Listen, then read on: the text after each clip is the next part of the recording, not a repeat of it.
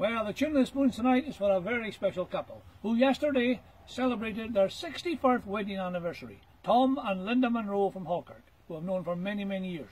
Congratulations, Tom and Linda, from myself and Glynis. We tune on the spoons for Tom and Linda.